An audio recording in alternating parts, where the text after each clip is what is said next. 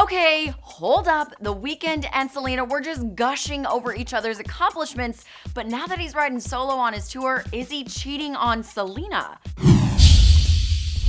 This is news I cannot bear to believe. The Weeknd, how dare you go and do this?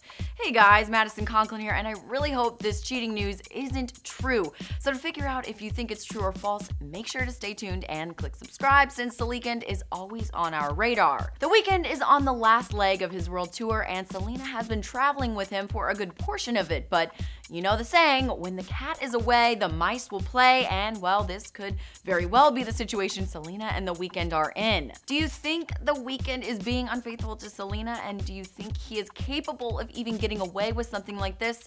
Tell me now in the comments below. This latest report comes from Star, and it says The Weeknd invited an Instagram model to his room the night before his performance in Dublin. The rumored model is Irish, and her name is Ava Van Rose. A spy on the scene says Ava was brought straight up to Abel's penthouse suite. He was blown away by her body. And honestly, with a chest like that, I'd say knock the F out by that body. The source went on to say he gave her and her friends all access backstage passes to his show. I checked out Ava's Instagram to see if there's any incriminating evidence of that night she went to the Weeknd show. And you guys, I found this picture with this caption XO, hashtag the Weeknd, hashtag XOXO, and so on.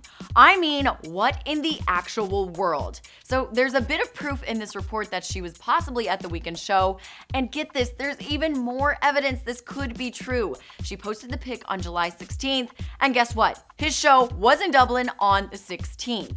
I just can't accept this, you guys. I mean, here's Selena clearly smitten with Abel and saying he's the reason why she's so confident these days, and he's doting on her as well. And I mean, they seem to be in a really happy place. Star previously reported that Selena has long feared he wouldn't keep his hands to himself and she hoped he would prove her wrong.